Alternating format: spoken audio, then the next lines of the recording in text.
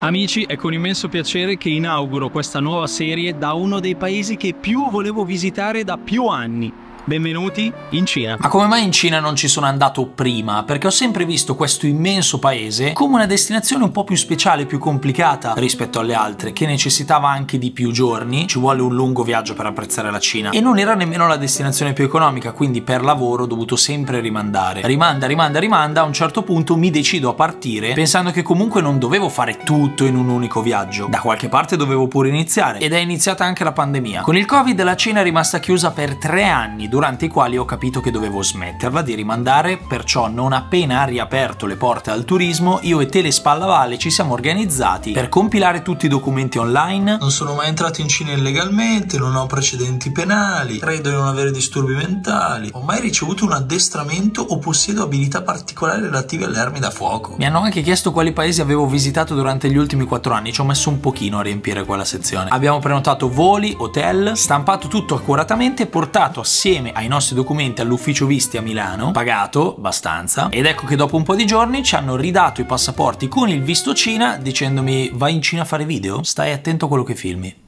Ok, avanti un mesetto ed eccoci a bordo del volo che ci porterà a scoprire il paese del dragone. Come, come si chiama la Cina? Aspetta, cioè Giappone paese del sollevante. Cina, paese del dragone. La terra del dragone. Andiamo a scoprirla assieme. In questa serie di video che non so quanto durerà, ma sono sicuro che vi piacerà perché è stato un viaggio pazzesco. Spero il primo di una lunga serie. Perciò mettetevi comodi che questa serie sta per cominciare, come sempre dopo lo sponsor del video di oggi. Viaggiare è molto più complicato se non conosci l'inglese, che è in assoluto la lingua più utile utile da sapere. Se pensi di aver bisogno di migliorare il tuo inglese, puoi fare affidamento su Cambly. Attraverso le video lezioni in videochiamata con uno dei tantissimi tutor madrelingua che Cambly mette a disposizione provenienti da tutto il mondo, puoi iniziare a vedere i primi miglioramenti in poco tempo, gestendo il tutto nella maniera più flessibile, sfruttando i vari strumenti che Cambly mette a disposizione, anche gratuiti, e seguendo i corsi e i workshop più specifici, come ad esempio l'inglese per i colloqui di lavoro. Magari vuoi migliorare il tuo inglese per degli esami universitari, oppure per i viaggi. Di motivi ce ne sono tantissimi, di sconto che devi assolutamente utilizzare durante il mese di novembre perché ci sono le offerte del Black Friday le più convenienti che hanno fatto, ce n'è solo uno, Safari 60 Wow per avere il 60% di sconto su tutti i piani annuali, così vai a pagare a partire da 9,99€ al mese, che è un prezzo super competitivo. Però questo sconto vale soltanto per novembre, quindi approfittatene, usate il codice, date un'occhiata al link che trovate qua sotto in descrizione e buona continuazione del video. Ho gli occhi secchi di chi ha passato la notte insonne ed effettivamente non ho dormito sul volo, ma andiamo comunque a farci un bel giretto in questa nuvolosa famosa città di Pechino. C'è molta meno gente e meno caos rispetto a quanto mi aspettassi e c'è veramente tanta polizia che mi hanno sconsigliato di filmare. Questa qui davanti a noi è la celebre piazza Tiananmen. Avevo letto che è consigliabile andare in giro sempre con il passaporto in tasca ed effettivamente per entrare qua ci hanno chiesto i documenti. Controllavano tutti ad un checkpoint della polizia. Doppio controllo, però vabbè è un luogo di una certa rilevanza storica ci può anche stare però per visitare piazza Tiananmen è necessario prendere appuntamento gratuitamente tramite WeChat che è un'app utilizzatissima qui in Cina però va fatto il giorno prima e noi ieri eravamo in Italia. Quindi ci siamo presentati comunque ai controlli per vedere se magari ce lo facevano sul posto. Non si può fare ma le guardie di sicurezza sono state gentilissime perché non ci arrivavano i messaggi di conferma e quindi con il loro telefono e il loro numero ci hanno fatto la prenotazione per domani mattina. Abbiamo fatto una fotografia allo schermo e domani ci presentiamo con quella. WeChat è abbastanza fondamentale per venire in Cina. La cosa strana è che per registrarti devi avere qualcuno che ha già WeChat da tot tempo, sei mesi, che ti scansiona un QR code e ti approva, diciamo, la registrazione. Però poi da lì puoi fare un sacco di cose dal pagare nei negozi o i mezzi pubblici al compilare il form che ti richiedono all'arrivo per quanto riguarda la situazione sanitaria. È tutto abbastanza complicato, però è anche molto figo perché sembra un po' un mondo a parte. È affascinante il fatto che così tante cose cose qui funzionino così diversamente ed ecco che la Vale legge la scritta dumplings e ci fiondiamo a mangiare i ravioli però in realtà non sappiamo bene cosa abbiamo ordinato perché c'è una abbastanza insormontabile barriera linguistica che ci rende pressoché impossibile comunicare ma la sorpresa a noi piace. Ci hanno servito penso in 70 secondi però tutte le cose che sono arrivate sono l'opposto di ciò che pensavamo di aver ordinato tranne questi ravioloni che sono esattamente ciò che volevamo finisse nelle nostre pance.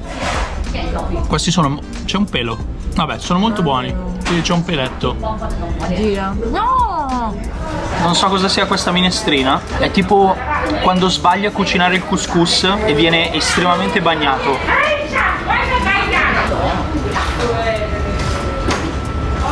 Sono un po' perplesso anche dal fatto che questi piatti siano plastificati. Probabilmente stiamo sbagliando tutto, ma è anche il bello dello sperimentare. Questo bel ciottolone di spaghetti con funghi e zucchine è ciò che mi hanno dato quando ho detto ghiozza. Mi piace troppo questa cosa che non sappiamo niente, sta andando tutto a caso. Probabilmente era il ristorante giusto, sicuramente era l'ordine sbagliato. Adesso andiamo a cercare qualcosa che sia più di nostro gusto. Tanto scommetto che c'è l'imbarazzo della scelta. Questi qui sono quelli che abbiamo preso prima, i Beijing style noodles, ma io voglio assaggiare questa qui. Prendiamo la beef pie. È calda? È caldo. È calda. È acqua calda. Tiranno il tè. No, credo che si beva proprio l'acqua calda.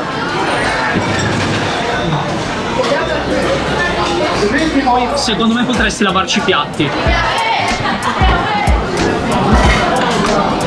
È una specie di piadina molto umida, molto sottile, con all'interno carne macinata di manzo.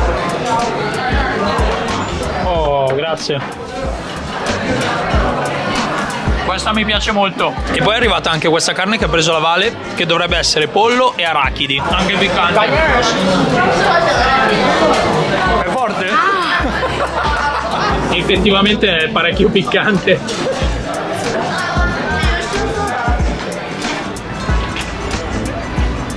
Ottima merenda a cena.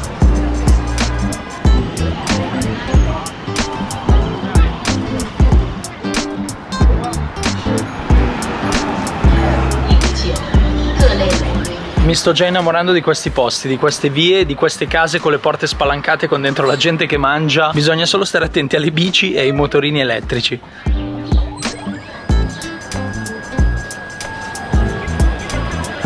Ma sai che mi fa molto strano il fatto che il cielo sia rosso? Cioè, sono consapevole che magari sia inquinamento luminoso, però è proprio bizzarro da vedere.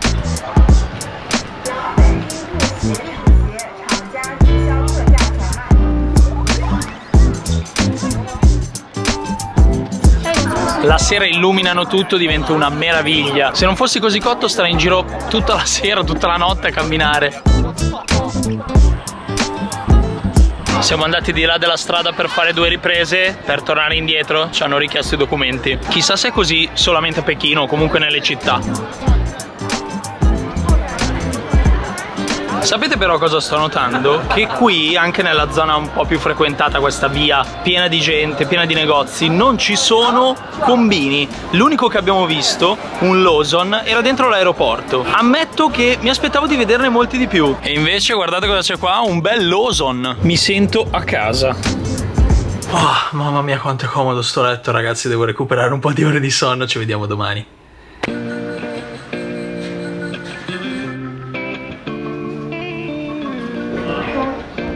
Buongiorno amici da una immensa piazza Tiananmen. Entrare qui non è stato semplicissimo, ci hanno fatto diversi controlli. Quattro volte hanno guardato il passaporto, due volte hanno guardato il visto cinese, altre due volte hanno controllato la prenotazione fatta ieri dai militari che ci hanno dato una mano perché non ci arrivava il messaggio di conferma tramite sms dato che il numero collegato a WeChat è il nostro numero italiano. E poi ci sono stati controlli di sicurezza tipo quelli aeroportuali, hanno perquisito lo zaino, il marsupio, noi, cioè ci hanno tastato completamente. In più mi hanno aperto la borsa hanno tirato fuori l'attrezzatura fotografica, mi hanno chiesto come mai del microfono, avevo una bottiglia di acqua, me l'hanno fatta assaggiare. Sono stati molto fiscali, ma anche molto carini, cioè nessuno parlava inglese, però erano tutti molto disponibili e pazienti perché non capivamo bene cosa dovessimo fare. Adesso siamo qui al centro della piazza, lì c'è la gigantografia di Mao Zedong, ci sono un sacco di persone che fanno le foto, ragazzini che filmano TikTok e tante tante telecamere di videosorveglianza. Ciascuno di questi lampioni ha dei rami pieni di telecamere. Se mi mettessi a contarle ci metterei troppo. È una situazione estremamente controllata ed è pieno di polizie e di militari. Piazza Tiananmen è sicuramente uno dei luoghi più iconici della storia cinese, che a tutti fa venire immediatamente in mente le foto delle omonime proteste del 1989. Penso che questo sia anche il luogo al mondo in cui ho visto più telecamere di videosorveglianza. Non puoi fare un passo senza averne almeno un paio puntate addosso, è una roba assurda, che poi in realtà è in tutta la città di Pechino è così. E si tratta di una delle primissime cose che ho notato. Ci sono telecamere ovunque e le abbiamo trovate, anche se magari in minor quantità, pure fuori città. Qua metto le clip che ho fatto per farvi vedere quante telecamere di sorveglianza ci sono e la cosa più sospetta è avere un occidentale con la macchina fotografica che le fotografa tutte. Ufficialmente tutte queste telecamere sono state installate per rendere le città più sicure, fungendo da deterrenti per la criminalità e i comportamenti scorretti. E Pechino è una città molto sicura. Pare però che questa sorveglianza di massa possa anche essere una scusa per una forma di controllo sociale, per tenere sotto controllo chiunque vada contro il governo. Quando ho parlato per la prima volta dell'argomento ho raccolto pareri discordanti. Molti erano a favore perché vogliono più sicurezza, molti altri vedono la cosa come un limite alla libertà e in effetti la Cina non è famosa per essere un paese particolarmente libero. Voi cosa ne pensate? Come la vivreste se a un certo punto nelle città italiane spuntassero tutte queste telecamere? Comunque andiamo verso la città proibita. Allora aiutiamoci un pochino con la mappa. Qui c'è la Arrow Tower, quella che abbiamo visto ieri, che era anche tutta bella illuminata. Gate Tower, quindi la prima porta di accesso. Il memoriale di Mao. Monument to the People's Heroes, questo qua al centro. La National Flag. E adesso siamo qui dove c'è Tiananmen, ovvero la porta di accesso alla città proibita.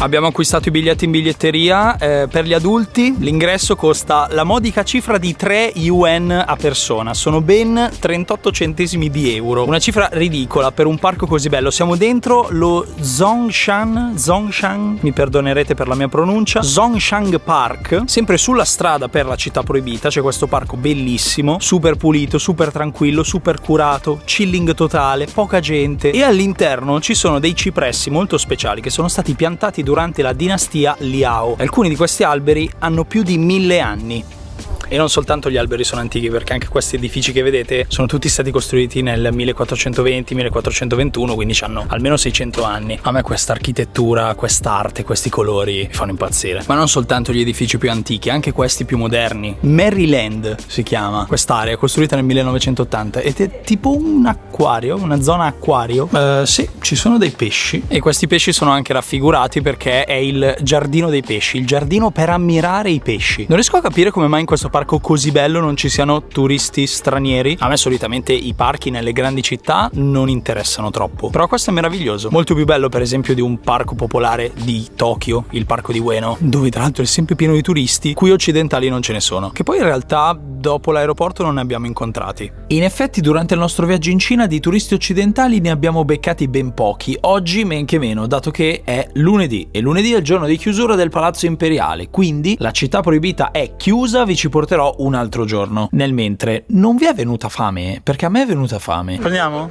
Dai, posso uno?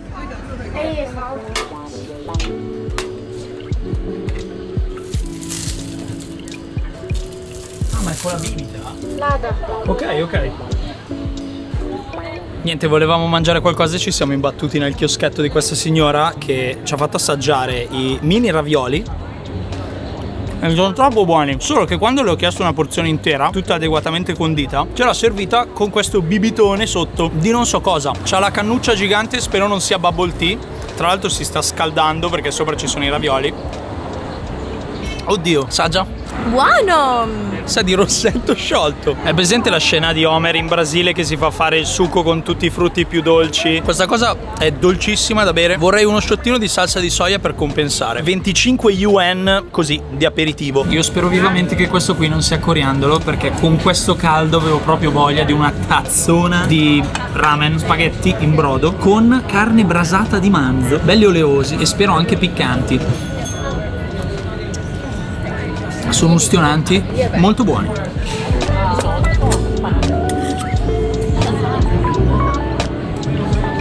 Io ho aggiunto altro piccante perché voglio proprio soffrire.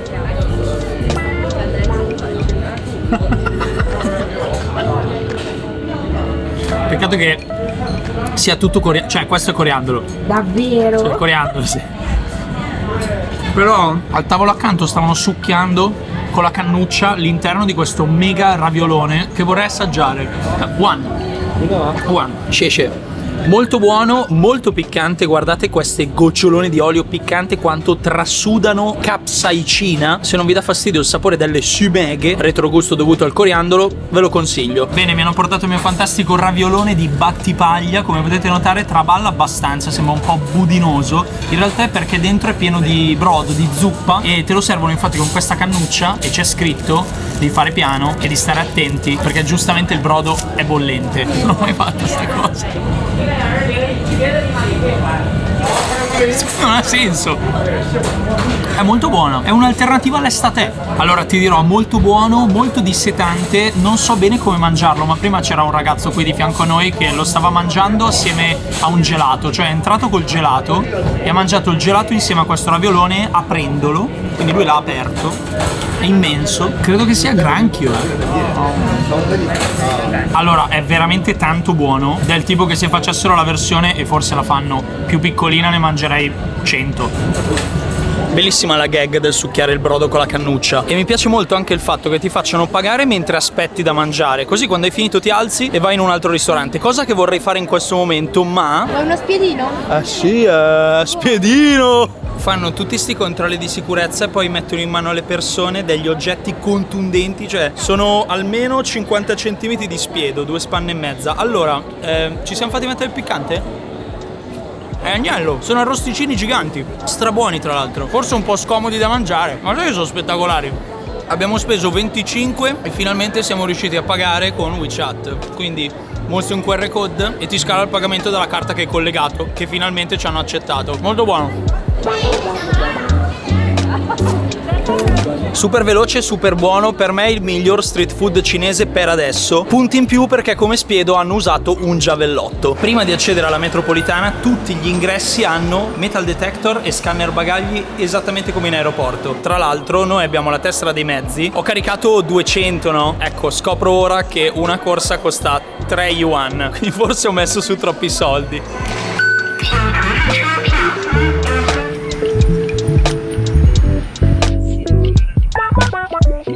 Tutto ok albero? Tutto ok? Bene, ottimo.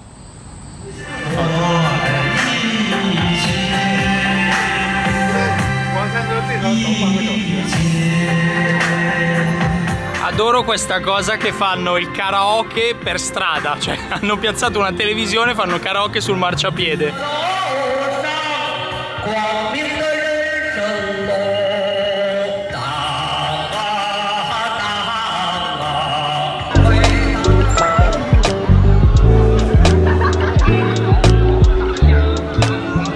Questa città mi sta facendo impazzire, mi piace tantissimo, specialmente la sera. Non so se mi piacerà anche questa cosa che mi ha fatto prendere la valle. Mi fa, lo bevono tutti, provalo anche tu. È denso. Mi ha sparato un grumo di yogurt in gola. Sembra Iron, ma molto più denso. Il dalle, quella cosa che bevono anche in Albania. Però misto panna. È molto strano ma è freddo e sa di latte, quindi mi piace. Solo che l'abbiamo acquistato con un po' di difficoltà per via della barriera linguistica. Un ragazzo che lo stava bevendo anche lui ed era lì presente, si è avvicinato adesso e mi fa: Guarda che a me l'hanno fatto pagare 8 e a te hanno fatto un tourist price di 10. Non vado neanche a dirglielo. Brutto gesto.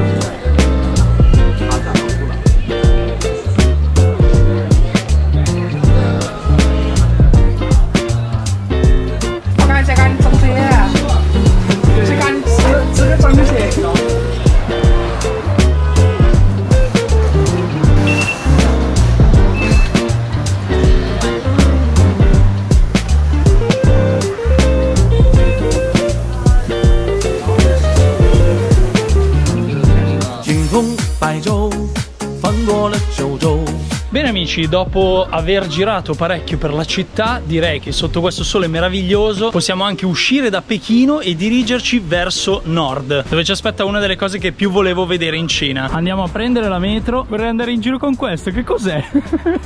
È un triciclo uovo. Non vedo l'ora di vedere come sarà la Cina fuori dalla grande città, anche se in realtà ci stiamo dirigendo in un posto super frequentato. Epping Man Station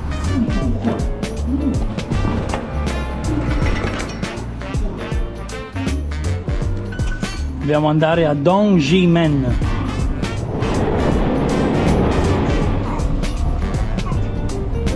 Andiamo a cercare l'autobus 916. Credo che i biglietti si facciano a bordo. Questa comodissima tratta in autobus da un'ora e mezza con le ginocchia in gola e gli zaini in bocca ci è costata la bellezza di un euro, anzi meno di un euro, 6 yuan. Appena siamo scesi all'autobus un tizio ha tentato subito di scammarci dicendo che il prossimo autobus non c'era, che passava tra un'ora, che la biglietteria era chiusa. In realtà passa tra 5 minuti e si paga con la tessera dei mezzi. Where are you going? Mutianyu. Mutianyu. Mutianyu. Oh, ok. 23 is one hour. One hour. Voleva farci salire sulla sua auto. Era semplicemente un autista privato. Però ha beccato un ragazzo rumeno, sta andando anche lui dalle parti di Mutianyu. Quindi andremo insieme. Nel mentre ci facciamo deliziare dalla voce di questo signore anziano cinese che sta cantando alla fermata dell'autobus. Lo amo.